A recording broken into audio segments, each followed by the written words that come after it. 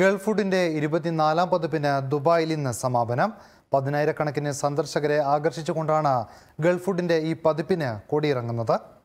ഫെബ്രുവരി പതിനേഴിന് ആരംഭിച്ച ഗൾഫ് ഫുഡിന്റെ ഇരുപത്തിനാലാമത് പതിപ്പിൽ സന്ദർശകരുടെ വലിയ തിരക്കാണ് അനുഭവപ്പെട്ടത്.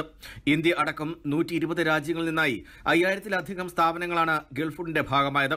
ഭക്ഷ്യ വ്യവസായവുമായി ബന്ധപ്പെട്ട നിരവധി വിഷയങ്ങളിൽ ഗൾഫ് ഫുഡിൽ സെമിനാറുകളും ചർച്ചകളും നടന്നു. നിരവധി സ്ഥാപനങ്ങളാണ് തങ്ങളുടെ പുതിയ ഉൽപ്പന്നങ്ങൾ ഗൾഫ് ഫുഡിൽ അവതരിപ്പിച്ചത്. കയറ്റുമതി സാധ്യതകളാണ് പലരും പ്രധാനമായും ഗൾഫ് ലക്ഷ്യമിട്ടത്. ഗൾഫ് ഫുഡിന്റെ ഈ പതിപ്പിൽ മികച്ച പ്രതികരണമാണ് ലഭിച്ചതെന്ന് Al Rawabi sales and marketing manager Ebiston Jacob പറഞ്ഞു.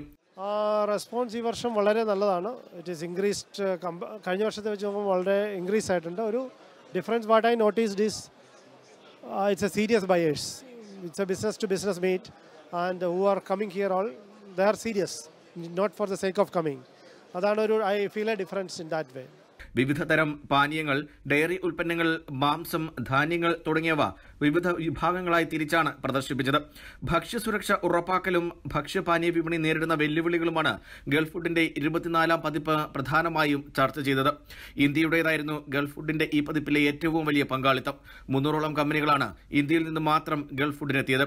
ഗൾഫ് ഫുഡിന്റെ സാധ്യതകൾ തേടി കേരളത്തിൽ നിന്നും നിരവധി സ്ഥാപനങ്ങളും ഇത്തവണ എത്തിയിരുന്നു. ആദ്യമായി ഗൾഫ് ഫുഡ് ഇന്നൊവേഷൻ ഉച്ചകോടിയും സംഘടിപ്പിക്കപ്പെട്ടു. എൻ ടി വി ദുബായ് ജനങ്ങൾക്കൊപ്പം വാർത്തയ്ക്കൊപ്പം നന്മയോടൊപ്പം N T V U A to the world.